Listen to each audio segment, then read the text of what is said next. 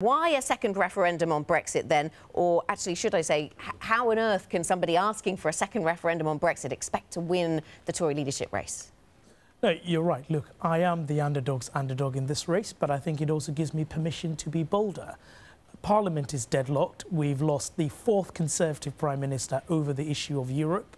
Uh, no deal is what a number of the other candidates are clustering around, or a reheated version of Theresa May's deal, which will not pass the House of Commons. So we've got to find a way to break the deadlock. We've got to find a way to bring the country together and to move on from Brexit.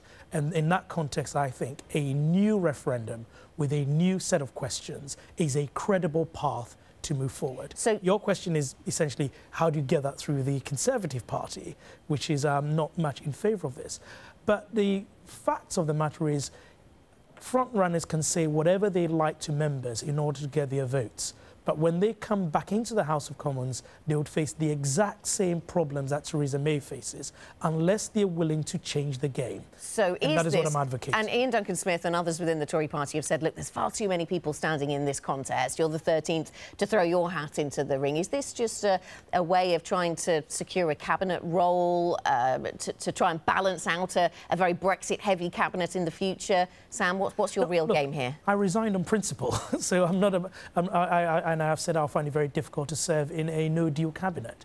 But we've got to face up to the reality of Brexit. And the Conservative Party has got to th think about the country, not just what it wants. We are a minority government. And in order to deliver for the country, which is what conservatism is about, we've got to look at options that are beyond our comfort zone. Otherwise, Brexit would continue to be a problem for us and for the country. Matt. And that is why I am standing. Matt.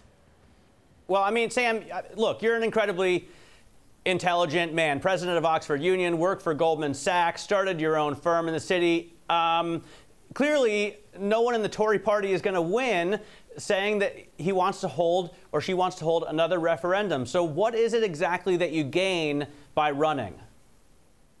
Well, I think that leadership is not just about winning the popularity contest. Leadership is sometimes taking an unpopular issue and forcing it onto the agenda, making people think about it. We are talking about this today because I've entered the race. If I hadn't entered the race, this would not be on the agenda, and it would all be about either unicorn versions of Brexit or fudge versions of Theresa May's deal that will not happen. It is surprising. It's we're where we are not because people didn't try, right? Most of the frontrunners have been in Theresa May's cabinet.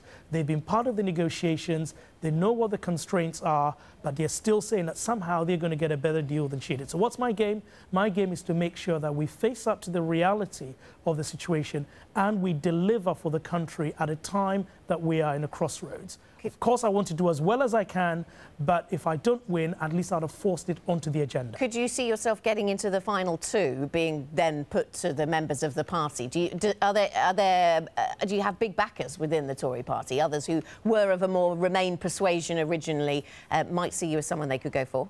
Well, the truth, the, the choice is actually no deal or a second referendum all the soft Brexit options are dead, although people are still flirting with them. So the job I have to do over the next week and a half or so is to make people very aware of what the stark choice we're going to face in Parliament is, and I am their candidate.